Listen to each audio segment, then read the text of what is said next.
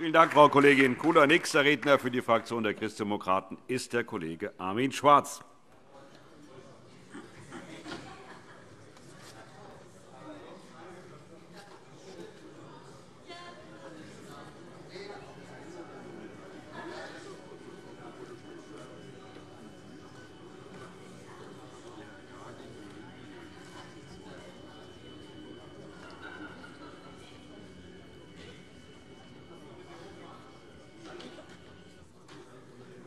Hochverehrter Herr Präsident, liebe Kolleginnen, sehr geehrte Kollegen!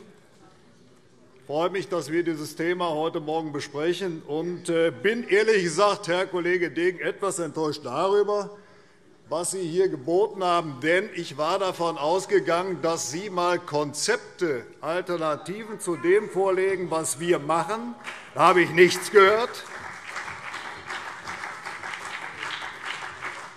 Dass Sie einmal eigene Ideen entwickeln, außer abzuschreiben oder zu bestätigen. Abzuschreiben beispielsweise bei uns aus dem Koalitionsvertrag mit den Stipendien für Mangelfächer oder zu sagen, naja, es könnte noch ein Scheibchen mehr sein, aber da kommt leider nichts. Das ist die Enttäuschung. Beeindruckt hat mich allerdings der Kollege Promny. Das will ich dann schon einmal sagen. Er war ja so zwischendurch zwischen Immanuel Kant und Heraklit. Das war ja schon eine Dimension. Also, wir kennen uns, ich hatte Ihnen zugetraut, aber nicht jeder hat das möglicherweise in dieser Klarheit erwartet, dass Sie diese philosophischen Ansätze tatsächlich fahren. Also Respekt und Anerkennung. Jetzt wollen wir einmal zur Sache reden. Denn zur Sache, Herr Kollege Promde, trotz allen Lobs haben Sie auch wenig gesagt, außer die Tatsache, dass die gemeinsame Zeit auch mit Unterstützung von FDP-Ministerinnen ganz erfolgreich war. Danach haben wir aber sehr erfolgreich weitergemacht. Das werde ich Ihnen jetzt auch zeigen. So, und deswegen, Herr Präsident, wenn ich darf, möchte ich Ihnen, verehrte Kolleginnen und Kollegen, einmal eine Statistik zeigen. Denn wir können dokumentieren, wie die Akten- und Faktenlage tatsächlich ist. Deswegen Bilder sagen ja gelegentlich, Kollege Degen, viel mehr als viele, viele Worte. Und so sieht die Situation aus. Ich zeige das hier einmal hoch, Herr Präsident. Das ist so eine schöne Statistik. Was sehen wir hier? Was sehen wir hier? Wir sehen, ja, dann erkläre ich es Ihnen für Sie, für Sie zum Mitschreiben. Also, die, die rote Linie, das sind die Schülerinnen und Schüler. Die rote Linie sind die Schülerinnen und Schüler im Jahr 1999. Das sind die Zahlen heute. Das bedeutet, wir haben 80.000 Schüler weniger. Wir kommen von 840, liegen jetzt bei 759. Und wir hatten im Jahr 1999 43.800 Stellen. Heute liegen wir bei 54.700. Und bei, so,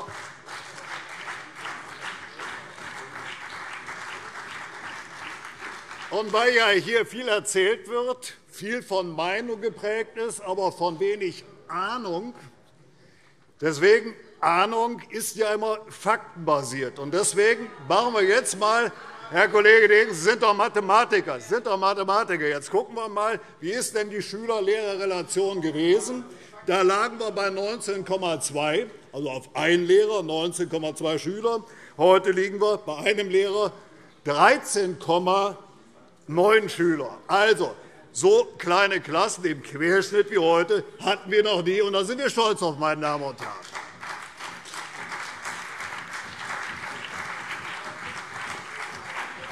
Und damit wir das auch gerade einmal weggeräumt haben, Herr Kollege Promny, das müssen Sie jetzt gerade noch einmal sich abholen, nachdem die FDP-Ministerinnen nicht mehr das Kultusministerium angeführt haben, aber der Kollege Lorz in seiner Weisheit und Klugheit mit unserer Unterstützung mit, mit unserer Unterstützung hat über 5.000 zusätzliche Lehrer obendrauf gelegt. Lieber Herr Minister, das haben wir gerne gemeinsam gemacht für guten Unterricht an den hessischen Schulen und Schulen, meine Damen und Herren. So. Und deswegen, damit es auch klar ist, Planungssicherheit ist wichtig, und deswegen geht es auch um Konzepte. Jetzt mal ganz im Ernst, meine Damen und Herren, die Frage ist doch, was passiert bei kurzfristigem Ausfall eines Lehrers. Da muss man es doch auch nicht jetzt irgendwo so, so kleinreden. Natürlich kann mal ein Lehrer einen Schnupfen bekommen. Natürlich gibt es kurzfristige Erkrankungen. Und deswegen wird dann vor Ort mit der verlässlichen Schule ein eigenes Budget vorgehalten, wo externe Lehrer zur Verfügung gestellt werden. Und, Herr Kollege Degen, ich glaube, denen sollte man schon Respekt zollen für ihre Arbeit, die sie leisten. Ich finde es nicht in Ordnung, diese zu diskreditieren, meine Damen und Herren. Langfristige Konzepte, ja, natürlich. Wir haben von vornherein gesagt, wenn jemand ausfällt und das dauert länger als äh, zwei Monate, dann braucht es bedarfsorientiert seitens der staatlichen Schulämter die Unterstützung. Dafür haben wir 300 verbeamtete Lehrkräfte in der mobilen Vertretungsreserve, die wir dann punktuell genau zu den Schulen schicken, damit sie dort den längerfristigen äh, Vertretungsunterricht geben können. Und das funktioniert auch gut. Ich gebe allerdings an dieser Stelle recht. Aus der Vertretungsreserve haben wir momentan einige dann in den Regelzuordnungs damit meine ich die Zuordnung zu den einzelnen Schulen und Schulen geschickt. Denn es ist natürlich wichtig, frei werdende Stellen unverzüglich zu besetzen.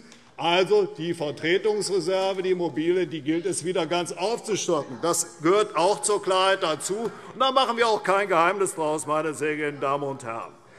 So, jetzt will ich aber noch eines einmal wegräumen, Frau Kollegin Kula.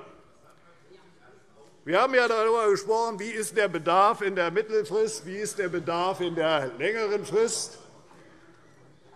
Wir haben die Ausbildungskapazitäten, Studienplätze, erste Phase kontinuierlich hochgefahren, jetzt zum neuen Wintersemester auch wieder 135 neue Ausbildungsplätze in Kassel, Gießen und Frankfurt geschaffen. Gleiches trifft zu auf die Ausbildungskapazität zweite Phase Lehrer im Vorbereitungsdienst. Wenn Sie jetzt hier Hochrechnungen machen, auf eine Studie sich beziehen, die von Ihnen kommt, Sie aber offensichtlich selber nicht verstanden haben, das erschüttert mich dann schon. Sie reden hier von einem zusätzlichen Bedarf von 26.000 Lehrkräften. Zwar sehr im Ernst. Auch dort hilft es wieder einmal hinzuschauen, wie viele Lehrer bilden wir pro Jahr aus das liegt zwischen 2.700 und 2.800. Sie wollen bis 2030 26.000 Lehrer haben. Das heißt im Klartext, wir haben mehr als 26.000 Lehrerinnen und Lehrer bis ins Jahr 2030 geschaffen. Das ist schlicht und ergreifend die Logik von Mathematik. Ich kann mich an dieser Grundrechenart nicht verschließen. Na ja, gut, dann rechnen wir nachher mal gemeinsam, dann kommen wir sicherlich aufs richtige Ergebnis. So, also, jetzt reden wir, meine Damen und Herren, in den verbleibenden Minuten noch einmal über die äh, Umfrage des Landeselternbeirates. Ja, 947 Teilnehmer. Interessanterweise 506 davon waren Eltern, und über 300 davon waren anonym. Es gab vier Teilnehmer, Schüler, Eltern, Lehrer und Anonyme. Obwohl die Teilnehmerkohorten völlig unterschiedlich waren, sind jeweils die Ergebnisse zu 25% eingeflossen. Deswegen die Validität da kann man zumindest einmal darüber nachdenken und auch darüber nachdenken, ob der Erhebungszeitraum, nämlich in der Prüfungszeit, im Frühjahr eines Jahres und in der Zeit, wenn die Studienfahrten stattfinden, ob der tatsächlich auf das Jahr gerechnet repräsentativ ist. Einiges bleibt unklar.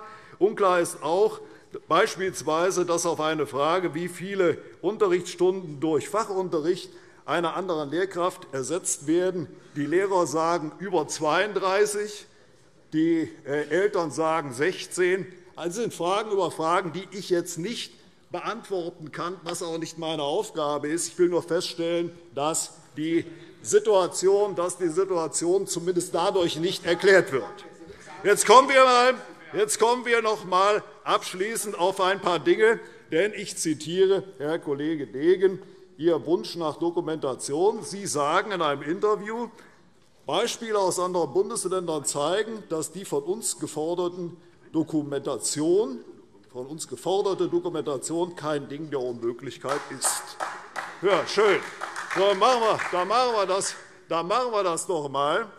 Und dann gucken wir doch einmal in die Nachbarschaft Rheinland-Pfalz, wie die Situation sich darstellt. Zunächst einmal stellen wir fest, dass in Rheinland-Pfalz 99% Lehrerversorgung zur Verfügung 99% Lehrer vorgehalten werden, also ein geplanter Unterrichtsausfall schon einmal von 1% Ich erinnere, wir liegen bei 105 des Weiteren, des Weiteren zu der Fragestellung, wie gehen wir denn um mit der Dokumentation von Vertretungsunterricht und Ausfall, sagt die Frau Staatsministerin Stefanie Hubig Folgendes.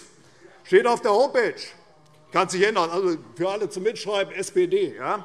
Natürlich wissen wir, dass die Zahlen zur strukturellen Unterrichtsversorgung nicht den temporären Ausfall von Unterricht umfassen, der durch kurzfristige Ausfälle von Lehrerinnen und Lehrern etwa durch Erkrankung, Schwangerschaft oder Erziehungszeit verursacht wird.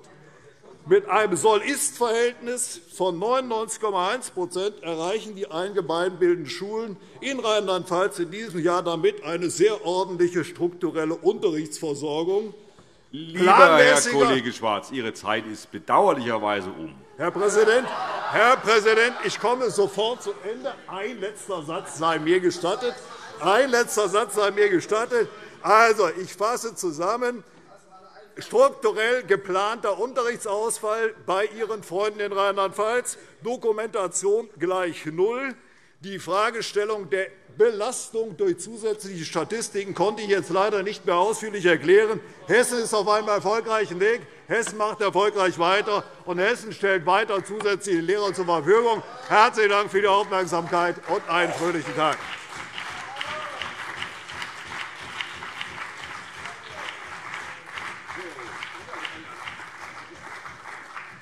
Ja, vielen Dank, Herr Kollege Schwarz. Und jetzt darf ich äh, für die Landesregierung Herrn Staatsminister Prof. Lorz das Wort erteilen.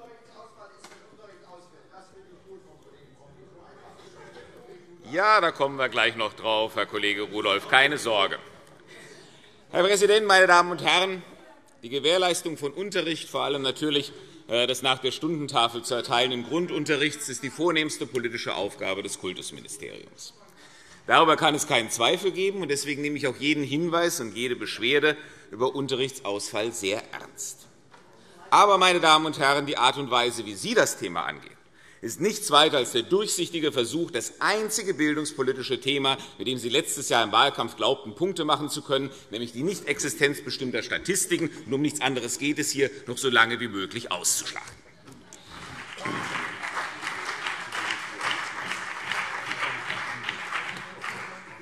Ich will Ihnen zeigen, wie eine ernsthafte, an der Sache orientierte Herangehensweise an diese Problematik aussieht. Dazu muss man nämlich als erstes zwei Dinge auseinanderhalten. Einmal die Unterrichtsabdeckung oder, ich bedanke mich für die Vorlage vom Kollegen Schwarz, dass ich die Kollegin aus Rheinland-Pfalz zitieren kann, die strukturelle Unterrichtsversorgung, also die Frage, ob genug Lehrer da sind, um den Unterricht zu halten, und zum anderen die Vertretungsfälle, also die Frage, was passiert, wenn die etatmäßige Lehrkraft in einer konkreten Stunde nicht zur Verfügung steht. Und hier würde ich mir einmal mehr Ehrlichkeit von der Opposition wünschen, diese beiden Kategorien nicht ständig zu vermengen, meine Damen und Herren.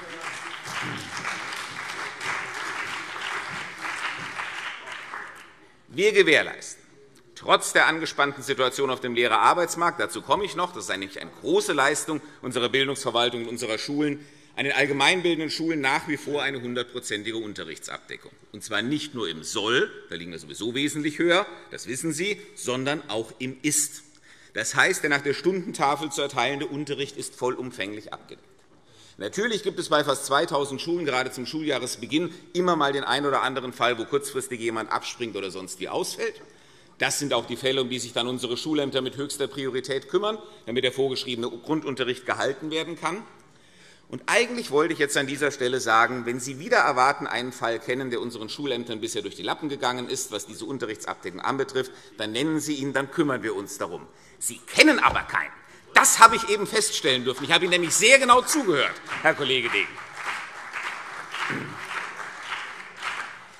Ich habe Ihnen sehr genau zugehört, und auch dem Kollegen Promny.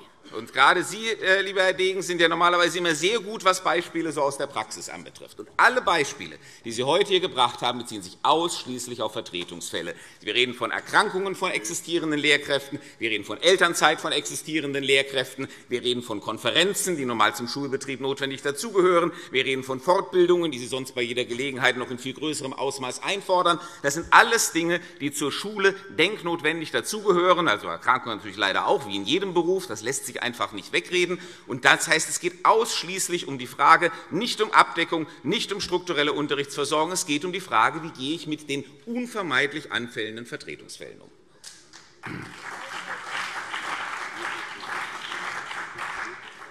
Darüber kann man reden. Darüber muss man auch reden, und das will ich auch gerne tun. Denn auch dafür gibt es eine Grundregel.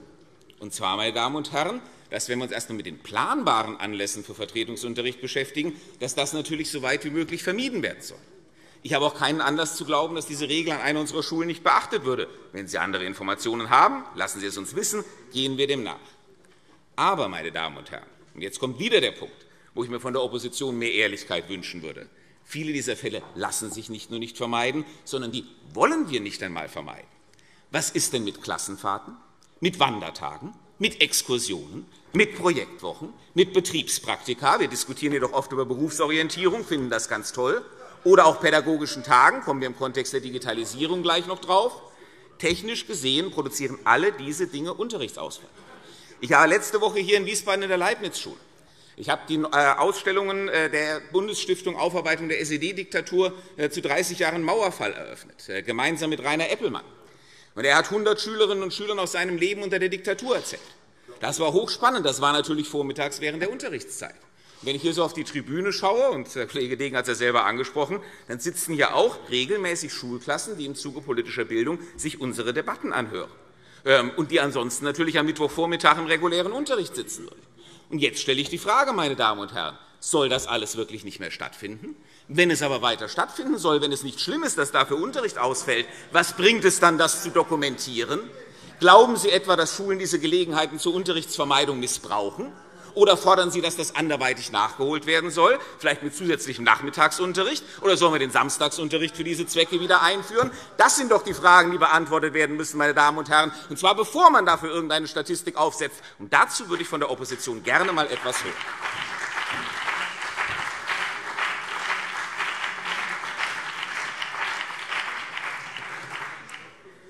Dann kommen wir jetzt zu den unplanbaren Vertretungsfällen, also typischerweise zu Erkrankungen von Lehrkräften. Dafür, meine Damen und Herren, muss jede Schule ein Vertretungskonzept haben. Und ich habe erneut keinen Anlass zu glauben, dass es irgendwo nicht existiert oder nicht unseren allgemeinen Vorgaben entspreche. Diese Vorgaben, meine Damen und Herren, sind völlig transparent. Die Leitlinien, die das Kultusministerium dazu herausgegeben hat, sind öffentlich. Sind wir übrigens auch gerade dabei, die zu überarbeiten. Jedes Vertretungskonzept muss mit den schulischen Gremien abgestimmt sein, das heißt insbesondere auch mit dem Elternbeirat vor Ort, und kann damit natürlich auch überall nachgelesen. Und diese Vertretungskonzepte sind ein hochkomplexes Regelwerk, weil sie alle möglichen Situationen in den Blick nehmen, die sie tagtäglich an jeder Schule auftreten können. Das ist nichts Neues, das hat auch nichts mit Lehrermangel zu tun, sondern das gehört eben, wie die Fälle Erkrankungen, Elternzeit, Fortbildungen, Konferenzen usw., so gehört zum Schulbetrieb einfach unvermeidlich dazu. Dafür gibt es vielfach interne Vertretungsregelungen. Das ist besonders bei kurzfristigen Ausfällen ja auch gar nicht anders machbar. Wenn morgens um sieben die Lehrerin anruft, ähm, dass sie krank ist, dann kann nur ein Kollege von der Schule selber einspringen. Das lässt sich gar nicht anders organisieren. Dann gibt es die verlässliche Schule, die wir erst eingeführt haben. Dann werden natürlich bei längerfristigen Abwesenheiten TVH-Verträge geschlossen, mit denen zusätzliche Kräfte an die Schulen gebracht werden. Meine Damen und Herren, wir haben die weitreichendsten Regelungen zum Vertretungsunterricht, die es jemals in Hessen gab. Wir wenden dafür auch jedes Jahr über 200 Millionen € auf, nur für diese Gewährleistung von Vertretungskräften. Und es ist doch ein Treppenwitz, dass ausgerechnet die SPD, die in ihrer Regierungszeit es nicht einmal geschafft hat, die Unterrichtsabdeckung auch nur annähernd zu gewährleisten, sich jetzt darüber beklagt, es gebe zu wenig Vertretungsunterricht.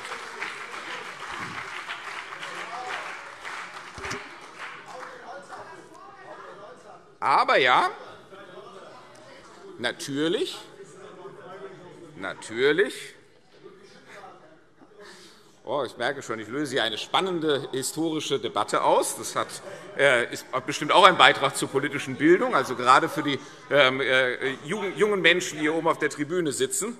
Aber natürlich, Herr Präsident. Entschuldigung. Äh, äh, Herr Staatsminister, ich war unaufmerksam. Ich bitte vielmals um Verzeihung. Äh, was ist passiert? Alles in Ordnung? Gut. Dann, Herr Staatsminister, dann haben Sie selbstverständlich dann haben Sie selbstverständlich weiter das Wort, Herr Staatsminister. Ich wollte ja eigentlich ich wollte ja eigentlich einen Satz sagen, ähm, wo der Kollege Rudolph jetzt gleich vor Begeisterung auf den Tisch bringen wird. Weil natürlich, weil natürlich, Herr Rudolph, in diese Vertretungskonzepte, von denen ich eben gesprochen habe, in bestimmten Konstellationen auch vorsehen, den Unterricht entfallen zu lassen. Natürlich ist das ein Bestandteil. Und ich meine, es hat doch auch jeder von uns in seiner eigenen Schulzeit erlebt, dass, wenn der Lehrer krank war, dass dann noch einmal Unterricht ausfällt. Das folgt eben diesen Regeln der Konzepte, aber das ist natürlich nicht von vornherein ausgeschlossen. Ich bin jederzeit nicht nur in diesem Haus gesprächsbereit darüber, ob an diesen Regeln, wie man mit solchen kurzfristigen Ausfällen umgeht, etwas geändert werden sollte. Wir haben dazu die Landesschülervertretung nach ihrer Aktion vom letzten Jahr zu solchen Gesprächen eingeladen und den Landeselternbeirat auch. Ich möchte mit diesen Gremien zusammen erarbeiten. Jetzt zitiere ich den Landeselternbeirat aus der Umfrage, von der hier schon mehrfach die Rede war, um ein gemeinsames Verständnis zu entwickeln und festzulegen, wann ein Unterricht als ausgefallen gilt. Ich gebe Ihnen auch ein Beispiel dafür, damit das nicht so abstrakt bleibt. Erkrankungen von Lehrkräften in der gymnasialen Oberstufe werden, wenn sie kurzfristig sind, typischerweise durch ein angeleitetes Selbststudium der Schülerinnen und Schüler aufgefangen. Das ist auch nichts Neues, auch nichts mit irgendeinem Lehrermangel zu tun, sondern haben wir schon immer so gemacht. Kann man darüber diskutieren? Ich habe dazu auch eine Meinung, äh, die natürlich etwas mit meiner beruflichen Herkunft zu tun hat. Ein universitäres Studium in Deutschland ist wesentlich Selbstorganisation. Und wenn wir das noch ernst meinen, unseren Anspruch an das Abitur, dass unsere Abiturienten studierfähig sind und dass die Oberstufe wissenschaftspräpedeutische Vorbereitungsarbeit leistet, dann muss ein Oberstufenschüler auch in der Lage sein, sich einmal eine Stunde selbst zu erarbeiten. Wenn wir das nicht mehr glauben, dann brauchen wir Diskussionen über Studierfähigkeit nicht mehr zu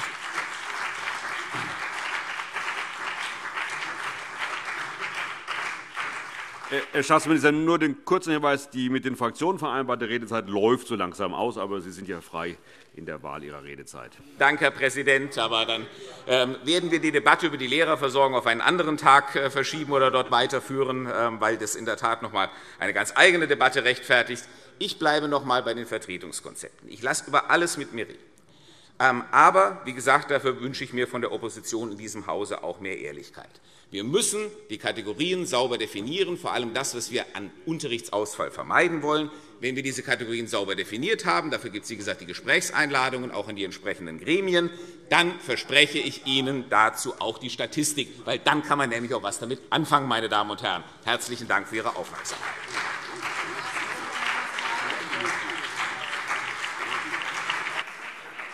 Vielen Dank, Herr Staatsminister Prof. Lorz. Zu einer zweiten Runde hat sich gemeldet der Kollege Degen. Bitte schön. Szenenapplaus für zweite Runden. Ja.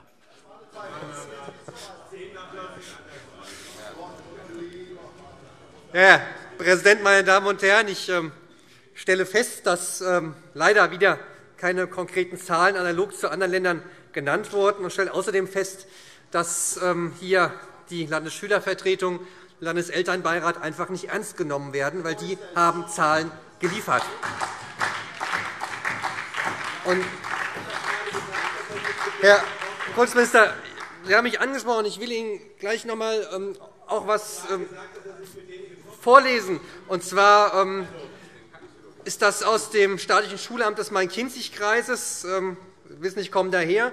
Da hat mir eine Kollegin einer Grundschule, die ähm, ein Sabbatjahr beantragt hat. Das wurde hier abgelehnt, unter anderem mit der Begründung, ähm, das heißt hier, dem stehen zum jetzigen Zeitpunkt, das geht um 18 Referendare, die äh, kommen, dem stehen eben 32 ähm, zu besetzende Stellen im Grundschulbereich gegenüber, was im Zitat aktuell zu einem nicht abzudeckenden Unterrichtsbedarf im Umfang von 14 Stellen und mit den 399 wöchentlichen Unterrichtsstunden im Grundschulbereich im Aufsichtsbereich führt. Meine Damen und Herren. Die Schulämter sind ehrlicher als das eigene Ministerium.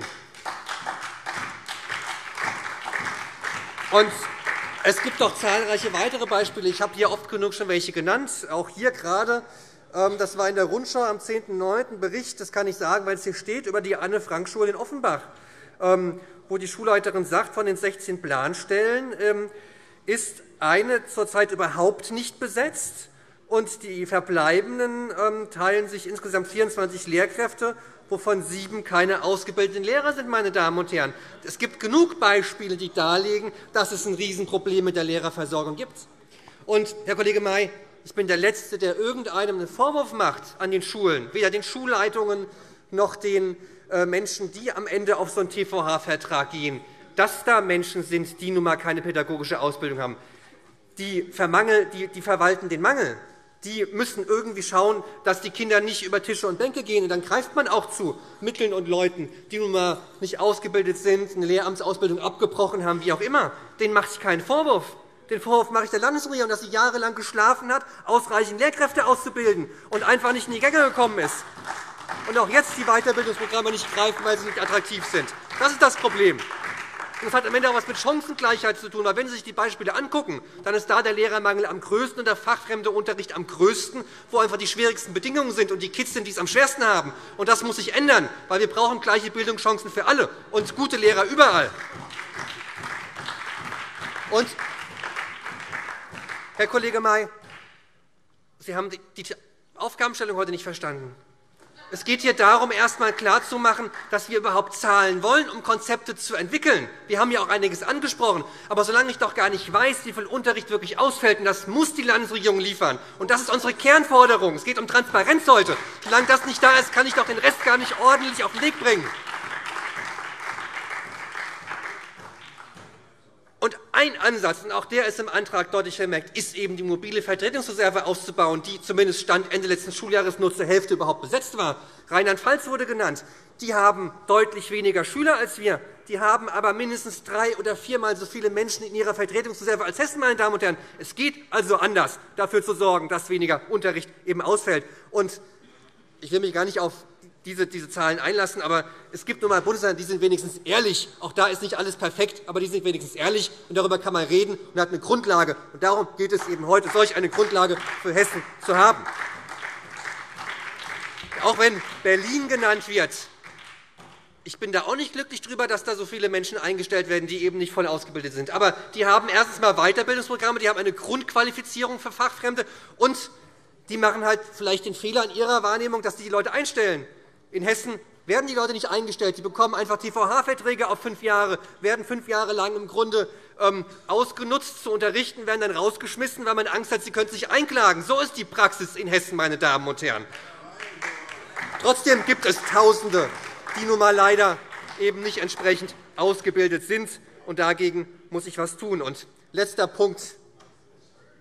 Also, es gibt sicherlich viele Fälle, wo Unterrichtsausfall vorliegt. Aber wenn Schülergruppen hier in den Landtag kommen oder sonstige Unterrichtsgänge machen, auch Klassenfahrt, ähm, das ist, äh, es gibt viel zu kritisieren, aber das ist mit Sicherheit kein Unterrichtsausfall. Aber das sind nicht die Probleme, die wir haben, meine Damen und Herren. Da haben wir ganz, ganz andere Fälle, wo Unterricht ausfällt, wo Quervertretungen gegeben werden, wo jemand in der Sporthalle ist und gleich im Klassenraum Aufsicht machen muss. Das sind die Baustellen, über die es geht, wo wir Daten einfordern. Dazu habe ich heute leider noch immer nichts gehört und bleibe dabei. Wir wollen endlich hier aussagekräftige Daten zum Unterrichtsausfall. Leider hat das hier die Regierungsfraktionen konnten das heute nicht vorlagen. Das finde ich bedauerlich. Vielen Dank, Herr Kollege Degen. Gibt es weitere Wortmeldungen? Das ist offensichtlich nicht der Fall.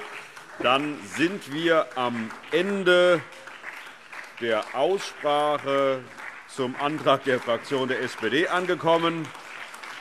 Es ist vereinbart, den Antrag in den KPA zu überweisen. So machen wir das.